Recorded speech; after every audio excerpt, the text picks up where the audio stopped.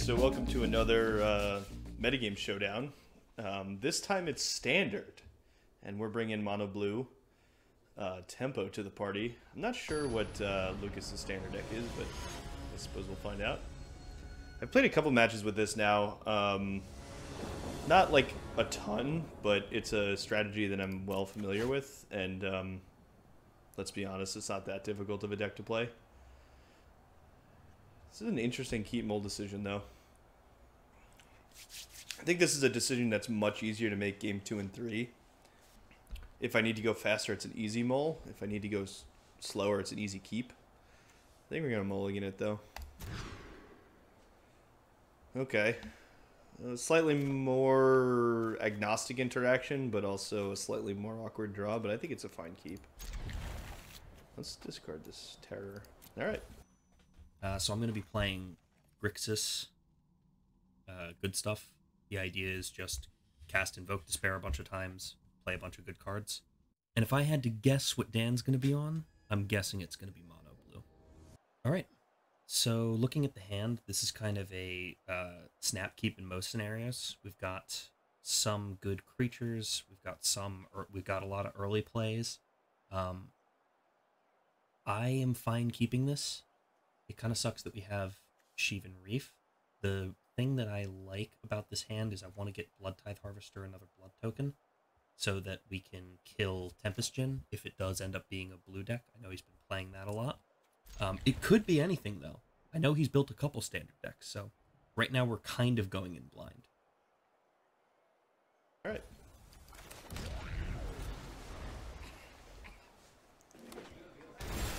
Is this Grixis? Great. Okay. I'm not exactly sure what the Grixis matchup is for Mono Blue. Um, what the win rate is. It's probably not very good. I think we're gonna make this so bad.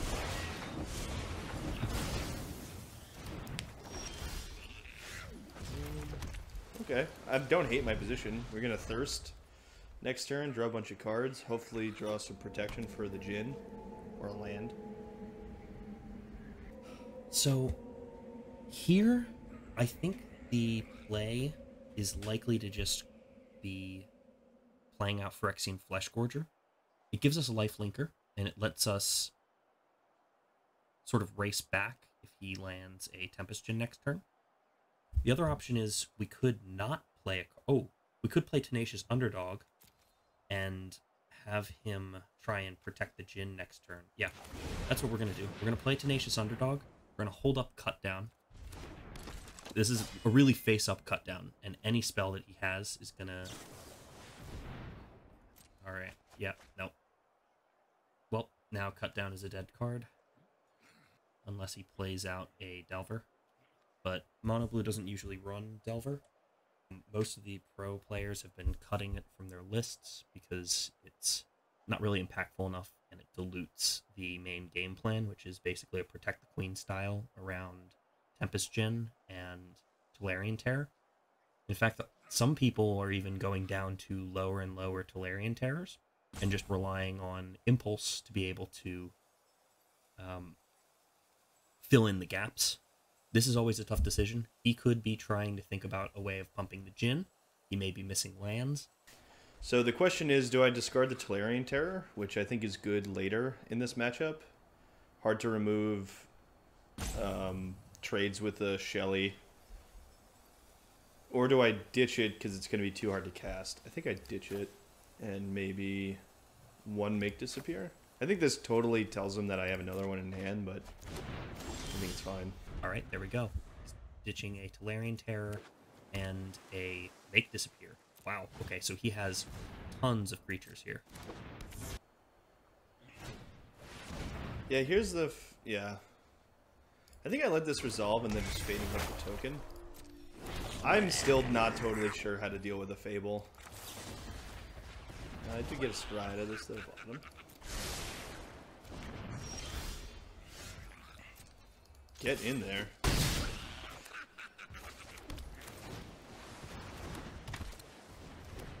Oh, he is running Delver.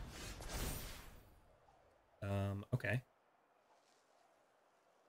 That's the case, I definitely want to get rid of Dracula, and Bankbuster's a little bit slow here. Want to draw some lands. God damn, that is not a good. Does he love his Delver? If he removes the Delver, I think I'm okay with that. Yeah, he can have that. Um, and then we'll fight it on fight for the Haughty on his turn and see how it goes.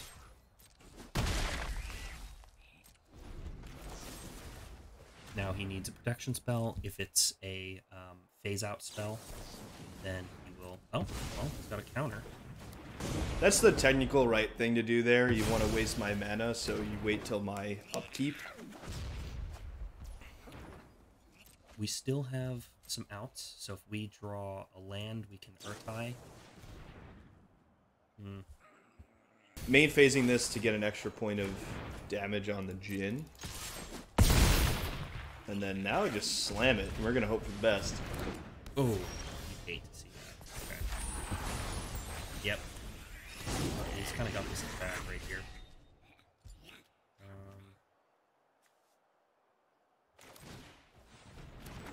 this. He seemed to be pretty mana screwed this game. I'm not sure how many lands the Grixis deck runs.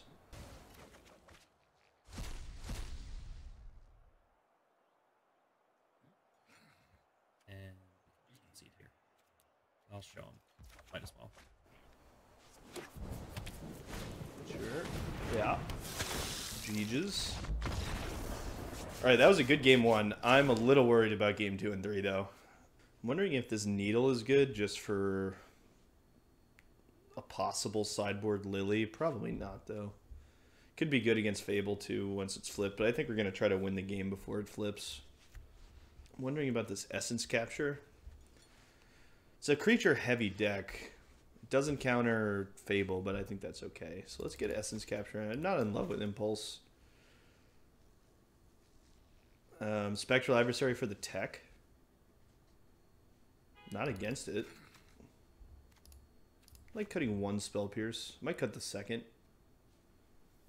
It's a question whether or not Delver is actually good here, too.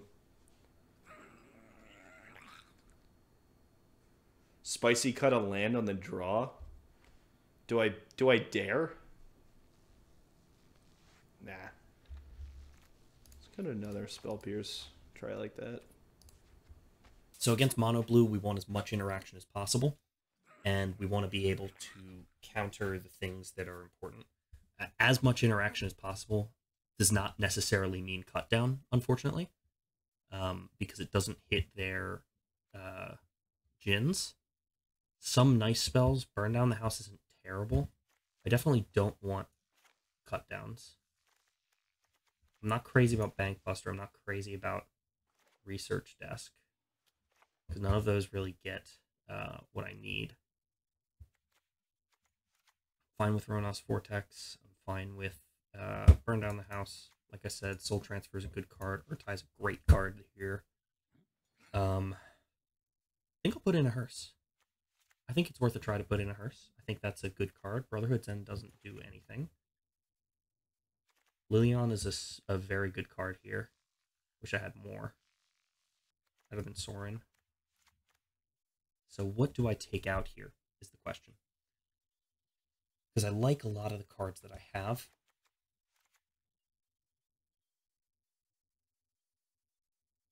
Probably a Corpse Appraiser. They don't have very many. Um, it's probably both Corpse Appraisers, actually, because they don't have very many uh, things that I can get with it. And if that's the case, then what do I take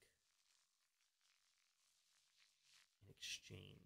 It's not going to be negate because I can't really fight their counter spells too much. I just kind of have to run into it. Disdainful Stroke is an answer for Tolarian Terror. You know what? Let's go all in on the hearse plan. Let's go all in on the hearse plan. If I hit the unlicensed hearse, start, uh, start digging through their graveyard, their Djinns aren't going to do very much. Um, and I can land it on turn two or as early as turn two. Luca's taken a long time to board, which is interesting to me. I, he's typically more up to date with um, metagame strategies, and this is a pretty popular metagame matchup in standard. And so I would think his sideboard strategies a bit better known, but maybe not.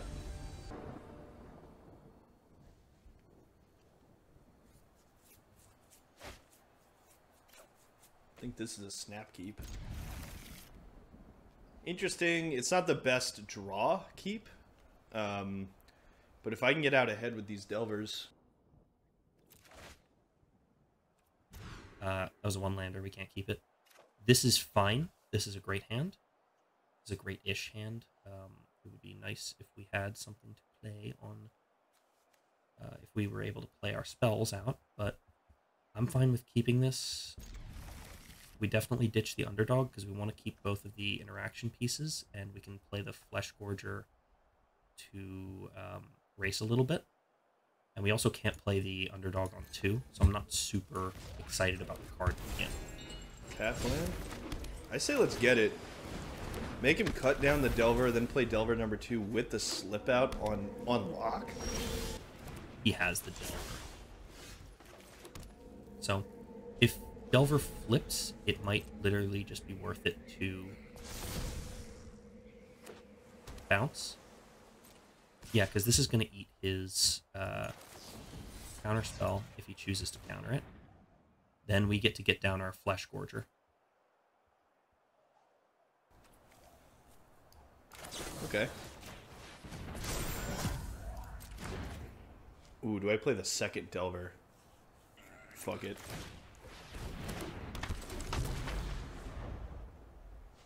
Just maximum pressure. Okay, this card's good here. Oh, you lucky dog. Love to see that.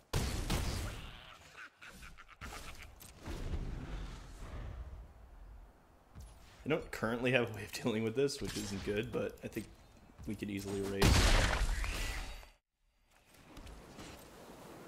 So let's have him tap out for the thirst. Or counter it on his upkeep.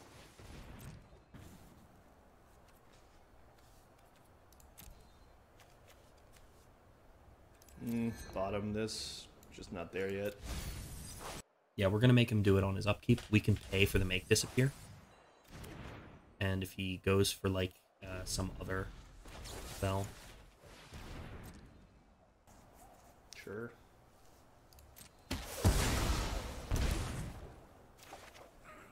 Another Delver.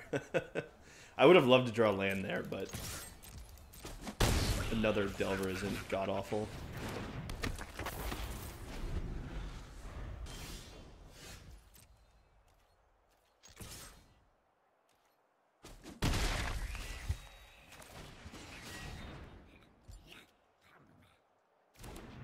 this is okay. He's letting this resolve.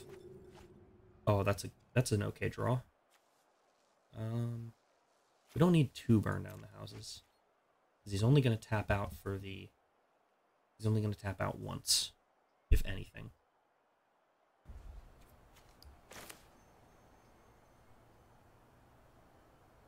Hmm. That's fine though.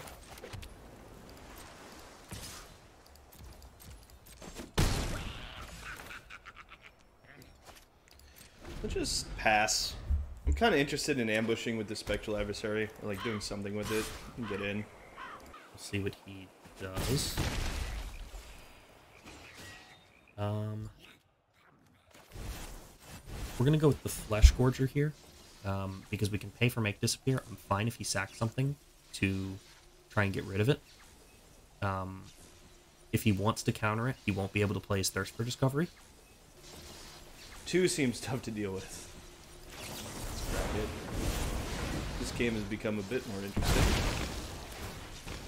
Yeah, see, he's countering it because he can't take the uh, life gain. But that's totally fine because now we get to uh, we still have one on the board, raising him, and now he doesn't have that counter. He's missing his thirst for discovery. We're in an okay spot here. What we don't want to see is a Djinn. I'm still curious if I snap this adversary in. I don't think so. Essence capture. Interesting. Let's get in.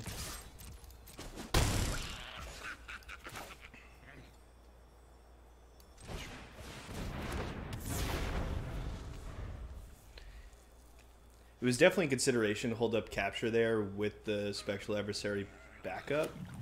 But I figured with one card in hand, having exactly a creature that I'm worried about is probably unlikely. I'm more worried about either card advantage or removal, so this Essence Capture isn't super valuable on this turn. Yeah, that's exactly what we didn't want to see. Okay. So here...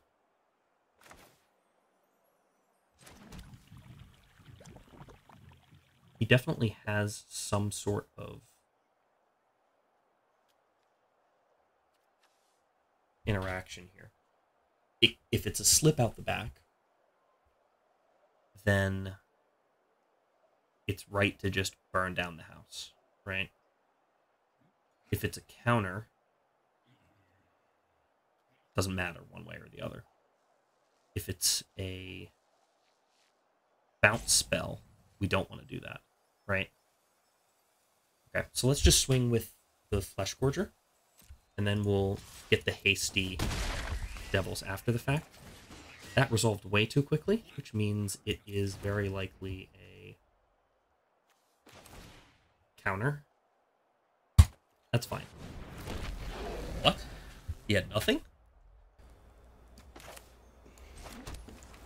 Alright, let's calculate a bit. So it's lethal if I swing out.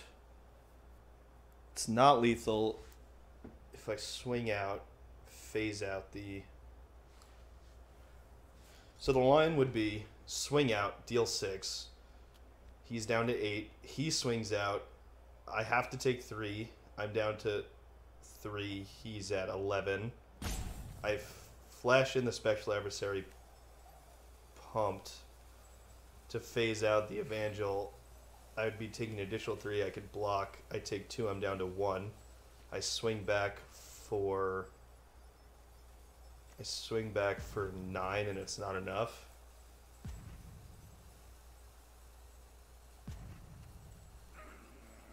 I can't pump twice, right? No. Is he gonna go for the cheeky three more damage out of out of his Djinn. I don't think that's gonna save him here. He needs to draw. Hmm. Maybe the higher upside thing was just to cast it beforehand. Because it, but the problem is, if it was a bounce spell, I would have regretted that so much. And that's the reason why, like, that's the reason why I just swung with the Flesh Gorger.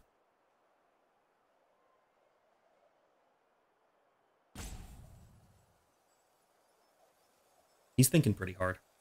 So I'm guessing he's going to thirst for discovery, try and find a solution to what's going on here.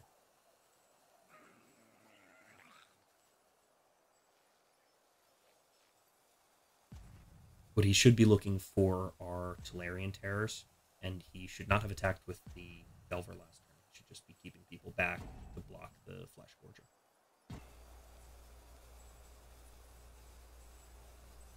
I guess no attacks. I'm in a bit of a tough spot here. Uh, that doesn't do it. Um, I think we swing out here. He either double blocks the Flesh Gorger, um, or he can block Evangel of Synthesis and a Devil, which neither of those things are okay. Let's see what he does, and let's see if this is lethal.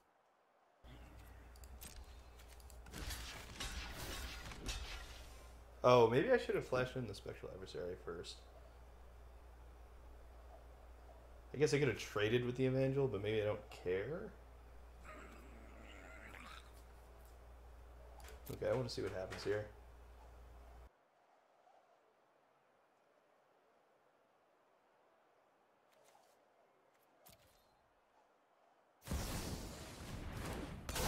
Spectral Adversary can phase out Synthesis, and that's it.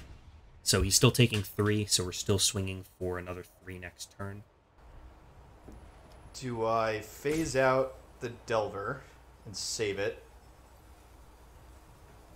And then risk dying to a card draw spell? Or do I phase out the Evangel and definitely not die, but lose the Delver.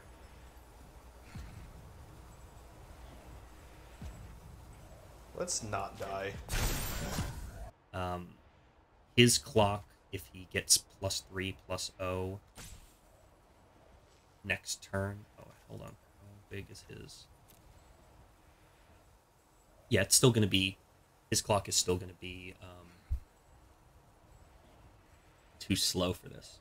Because he'll deal 11 damage next turn. I'll be down to 3. Then I'll swing out with the Devils. He really has no way of stopping it without taking any damage.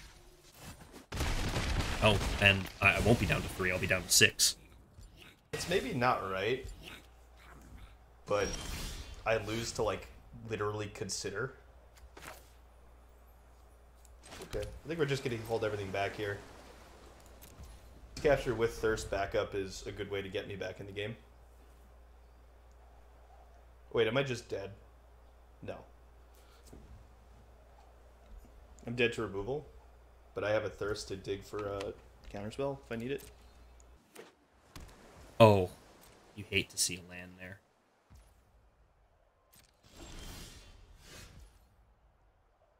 Okay.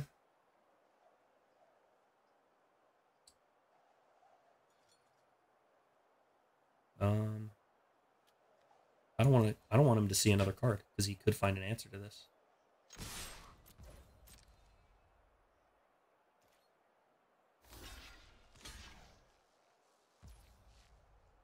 Okay. Let's see if it's game. That is game. Oh wait. Oh fuck. I didn't know the devil's pink face. Um, let's just thirst to see what's in here if it, anything can save me. Three lands in a row. All right. Well, that'll answer that question. We had a um to counter whatever he did, so uh, it, it made more sense to counter the um whatever he was doing to try and save it than to counter him digging for it because he still has four mana and he still had a card in hand. So whatever he ended up choosing to do, um, whatever he ended up choosing to do to try and stop him, if he had some sort of counter target ability or something, uh, I don't. I, I think there's one spell like that in standard right now. Um, he may have found something. We could have countered it, uh, as long as he didn't find two things. I wonder what the correct play pattern there would have been. I wonder if there was a win in that game. There probably was. Not sure. Okay, it seems like he boarded out a decent number of creatures here. Or he just got a strange control draw. I'm gonna say he boarded more into a control deck with Phyrexian Flesh Gorger as the main plan. What am I gonna do against that? This Essence Capture kind of sucked all game, so maybe we bring in the Spell Pierces, take out at least one of the Essence Captures. I feel like Impulse might have been okay there too. Disdainful Stroke might be okay also. Let's cut one Delver. I don't know. I think he's going to be boarding in a lot of removal, and I don't know if I want to get my hand mucked up early game by like trying to protect a Delver.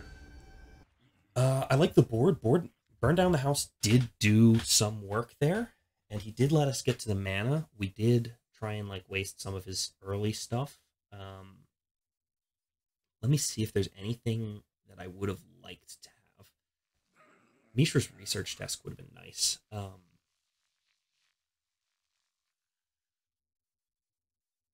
yeah, maybe that's just better than the second hearse because we don't ever want to draw two hearses. No, I, I, I think we keep in the hearse. I, I think that's a good idea, and I think it'll I think it'll play well. Funnily enough, this might be a keep. And I think it might be a keep just because we have interaction.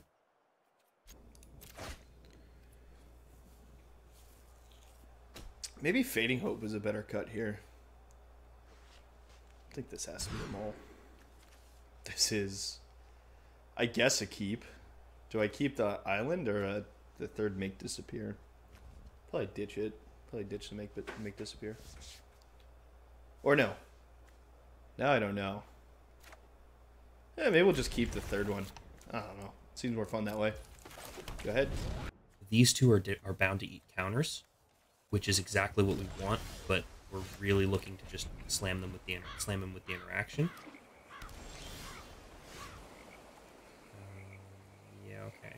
Let's make him scared. He doesn't know what's in our deck. He doesn't know that we don't have any counter spells.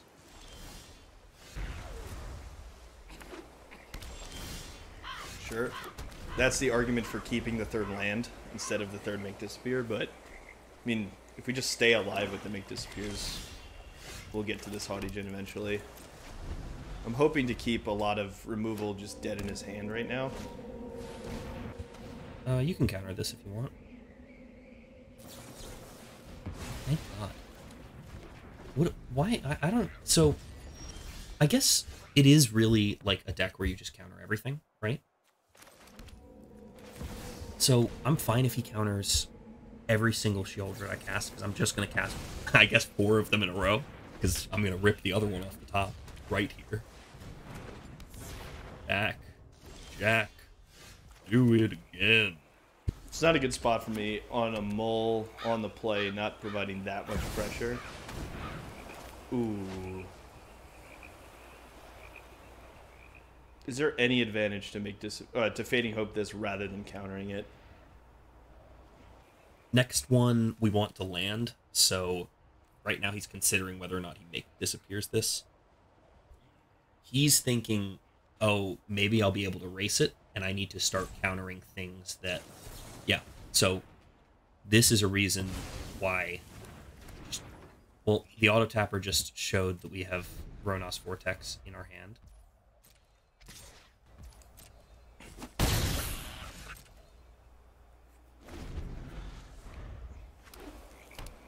I'm still like super dead to removal, which is not a good spot to be in. I guess I could fading hope my own haughty Djinn. That's probably good. Is this a removal spell on my upkeep? Now we have two removal spells in order to uh, get at him. So let's do it on his upkeep. That's optimal. Or if he taps out here.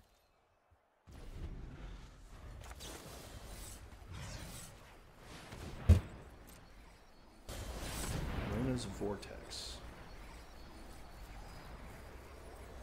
So, the question is, we're gonna play. Is this tech? Do I spell pierce the Rona's Vortex, make him pay for it, and then Fading Hope? It is two for winning myself, but it prevents him from doing anything else this turn. The alt is just Fading Hope and Fizzle the Rona's Vortex. I mean, that's probably correct.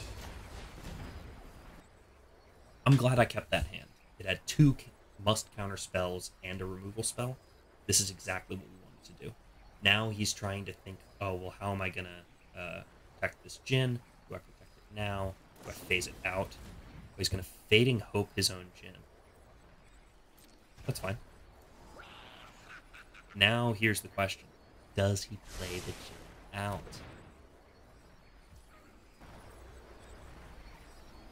I guess I still have the backup of if this is an Infernal Grasp, I could still Spell Pierce it, which is good. I'll keep it safe. I don't know. Seems fine.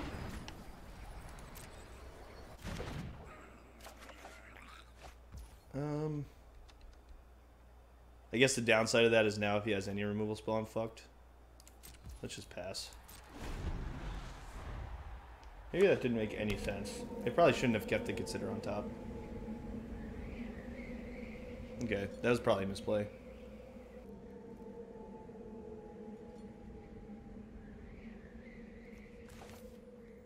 We could slam the Sheoldred, but I think we make him do his stuff. Another Fading Hope. It's kind of funny. Nah.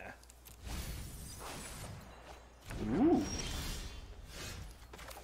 I'm gonna hide the terror. So that way, he doesn't get the discount on any of the spe- on any of the counter spells or protection that he has. It it's nicer. I would have liked to use the um, I would have preferred using the Infernal Grasp there, but it doesn't really matter that much.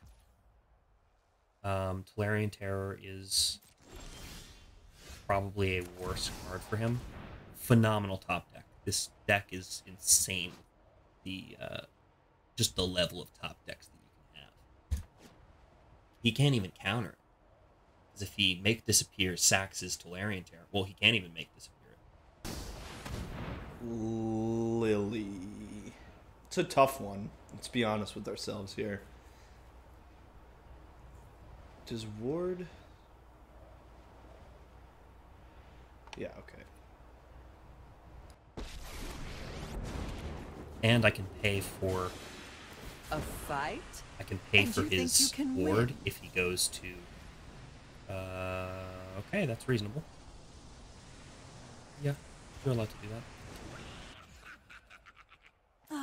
I've always hated crowds. Um. Yeah, let's slam Sheoldred. God damn. The third Shelly's pretty tough. I'm not, I won't lie about that one. Yeah, thanks, Lucas. Ah, I'm tilted about this. I feel like I should have won this match.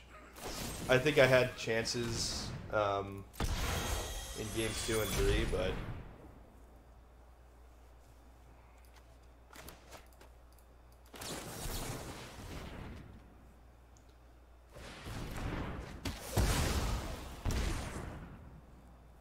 yeah, I think there's too much I need to draw. Plus, Shelly's out.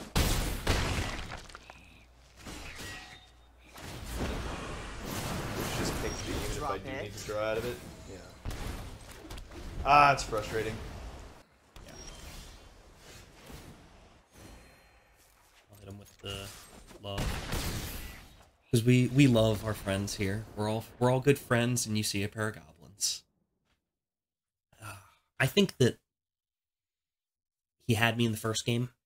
Uh, like had the nuts in the first game. I think he had a shot in the uh, second game, but the third game it was just too many must counter spells. I had a dubious keep in game three, but I think I had to keep it. Well, it was a mull to six. I don't think the seven card hand was a winning hand. Not sure.